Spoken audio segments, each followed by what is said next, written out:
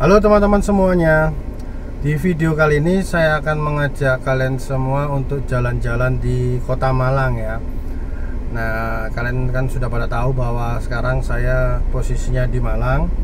Dan kebetulan kota Malang ini termasuk uh, mendapat zona merah ya Karena uh, wabah penyakit uh, virus COVID-19 Nah ini pas kebetulan hari Minggu biasanya kalau di Malang itu pasti ramai banget karena kalau luar orang luar kota ya mungkin dari Surabaya, dari Jember atau Blitar atau daerah-daerah Kediri biasanya pada liburan ke Malang. Kebanyakan sih ke Batu, tapi pasti ke Malang. Nah, biasanya itu ramai banget ya jalan-jalan di Malang ini. Banyak yang main ke alun-alun atau ke mana daerah-daerah mana gitu ya. Nah, ini sekarang saya ingin ngajak teman-teman uh, jalan-jalan melihat suasana kota Malang setelah mendapat uh, zona merah. Sebelum jalan-jalan, saya minum dulu kopiko ya biar nggak ngantuk. Ini rasanya enak banget. Hmm. Enak dan nggak bikin enak. Oke lanjut kita lihat situasi kota Malang. Yang saya suka dari kota Malang ini adalah masih banyak pohon-pohon ya jadi sudah kotanya dingin banyak pohon-pohon jadi adem dan sejuk gitu ya jadi bikin petah kalau kita tinggal di kota Malang. Oke sekarang kita berada di Simpang 4 nih suasananya selengang ya. Biasanya daerah ini padat banget macet. Sekarang teman-teman bisa lihat sendiri lengang ya ada motor 12 nah ini arah ke stasiun stasiun kota Malang Nah biasa kalau orang naik kereta api mau datang atau pergi biasanya ke sini. Nah ini sebelah kiri saya stasiun Kota Malang. Lihat suasananya juga lengang, biasanya juga rame. Orang pada berdatangan, entah ini memang waktu jamnya nggak ada kereta datang atau bagaimana, atau mungkin memang karena hiburan pemerintah supaya tidak berpergian. Jadi orang mengurangi untuk berpergian. Ya memang maksud pemerintah bagus, lebih baik diam di rumah supaya mencegah penyebaran virus ya. Kalau bisa sebisa mungkin kalau nggak ada kegiatan jangan keluar rumah. Ya kita ke kanan belok kanan tadi ya dari arah stasiun kita menuju ke Bundaran Tugu. Bundaran Tugu Kota Malang ya di situ nanti ada balai kota ya. Di sebelah kita belok ke kiri nah ini ini Bundaran Tugunya di bundaran itu ada bunga-bunga taman bunga ya. Asik banget. Kalau kalian ke kota Malang coba mampir situ jalan-jalan di situ asik banget. Ya ini sebelah eh, sebelah kiri saya balai kota Malang.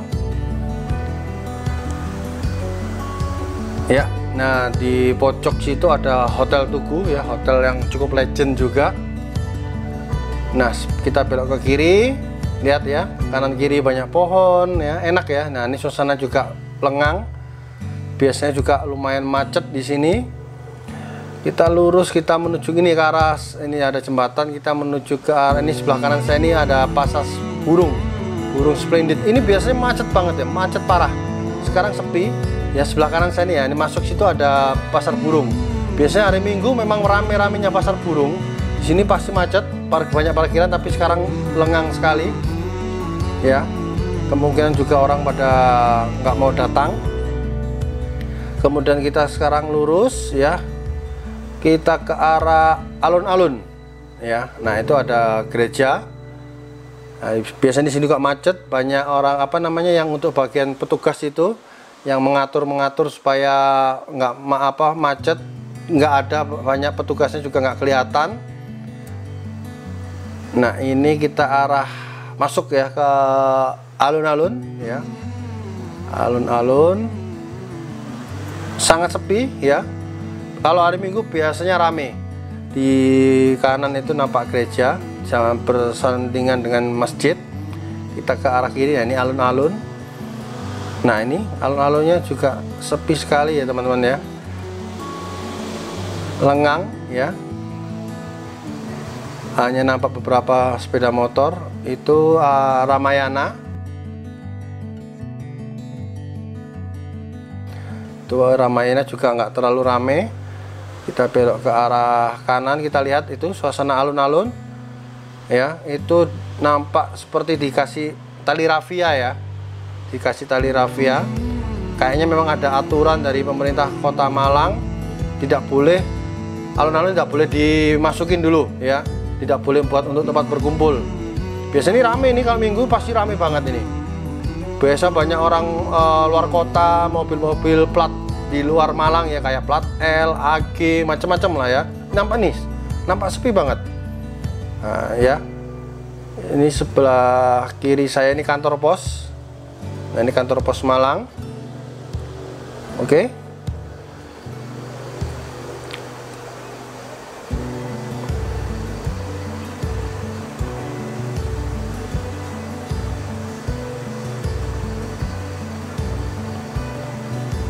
Nah ini tadi kita kembali dulu ke perempatan tadi. Kita lurus ya. Sepi perempatannya juga. Nampak nggak kelihatan? Biasanya banyak mobil ya. Ini juga nampak sepi. Wah ada penjual kerupuk nah ini masjid. Eh sorry ini gereja sebelah kanan. Kemu kemungkinan juga kegiatan ibadah juga di stop tidak boleh ya. Sebelah bersandingan dengan masjid hari minggu biasanya hari minggu ya rame orang datang ke gereja ini kenapa nggak kelihatan sama sekali ya nah, ini masjidnya. Nah ini nampak sekali sepi ya. Alun biasa ini rame nih parkir mobil pasti banyak. Nah ini ada rupanya memang ada himbauan dari pemerintah kota Malang. Alun-alun tidak boleh digunakan dulu ya. Karena ada wabah virus COVID-19 Ya, ini biasanya parkir mobil berjejer-jejer.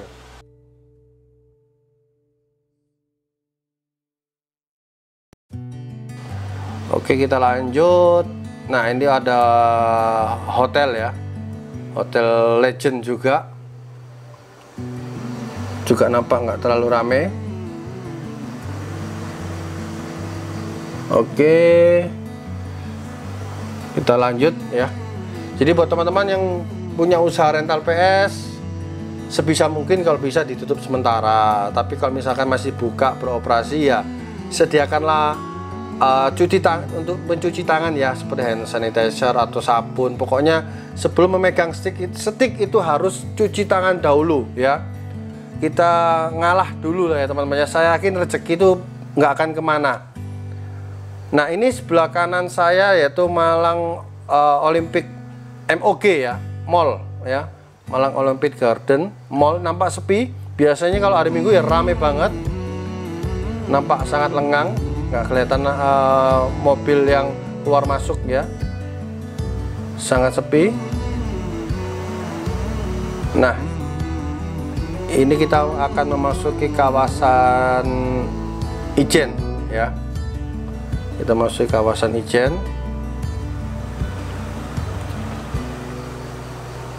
Ya kita berharap semoga wabah ini cepat berlalu supaya kehidupan bisa normal kembali ya. Eh, eh, eh mobil enak banget nih langsung muter ya. Mentang-mentang sepi itu tadi. Oh, padahal di depan tadi ada mobil polisi loh. Ya, ini kita masuk ke kawasan Ijen. Ya, ini kawasan elit di Kota Malang. Lihat kanan kiri ada pohon ya, pohon apa sih namanya? Pohon palam ya. Ya, wah asik banget. Inilah Malang, sangat indah ya kotanya. Indah sejuk gitu loh. Nah, kalau misalkan kalian datang ke Malang mampir aja ke toko saya. Nanti akan saya ajak jalan-jalan ke kota Malang. Nah ini di sebelah kanan ini biasanya juga ada taman-taman ya. Taman-taman ada kursi biasanya pada nongkrong di sini sepertinya nah ini kan nah itu di, di, di tali rafia ya kursi-kursinya juga di tali rafia nggak boleh duduk-duduk di situ ya. Ini adalah kawasan elit juga nampak sepi sekali. Pakai di pagar semua ya. Jadi untuk menghindari pencegahan penyebaran virus dilarang untuk berkumpul ya. Lebih baik kita diam di rumah dulu. Nah Coba lihat nih. Nah, ini kursi-kursi juga pada di tali rafia. Biasanya ini ramai banget orang pada pacaran, gendaan ya, pada kongko-kongko. Wah, ini enak memang paling tempat favorit arek-arek Malang di jalan ini tuh sambil santai-santai menikmati suasana kota Malang kita biasanya nongkrong-nongkrong di situ duduk di situ kan asik ya cuman karena memang karena wabah virus ya jadi sementara tidak diperbolehkan. Ya nggak ada sama sekali orang nongkrong di situ. Ini uh, bangunan-bangunannya juga bangunan lama ya bangunan Belanda. Sekarang kita menuju di jalan apa sih namanya ya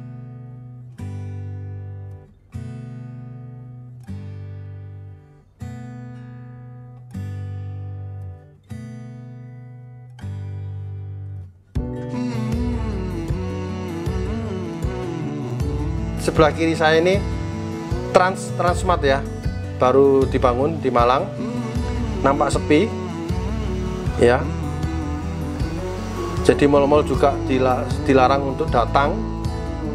Coba diperhatikan ya ini juga uh, mall Matos ya Malang Town Square. Juga nampak sepi, sepi. Biasanya orang-orang pada nongkrong di atas-atas itu nampak nggak kelihatan orang sama sekali. Nampak sepi. Ya Ya ini juga harus patut disyukuri kesadaran warga kota Malang tidak berdatangan ke tempat-tempat keramaian. Malang memang ngetop jos wis. Ararek Malang jos ya. Oke, nah ini jalan yang biasa kalau kita dari Surabaya pasti lewat sini.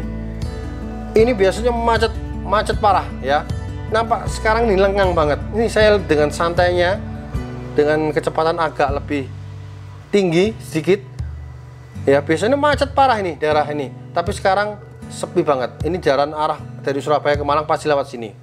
Ya. Ya begitulah teman-teman. Uh, saya ajak jalan-jalan melihat situasi kota Malang setelah mendapat zona merah.